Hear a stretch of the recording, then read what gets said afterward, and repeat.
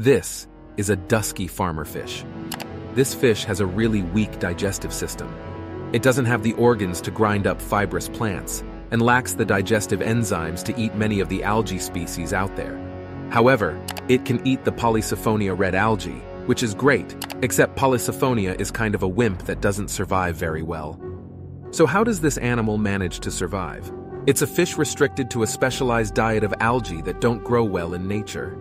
Sounds like a recipe for extinction, but this species is actually very successful. That's because it farms Polysiphonia.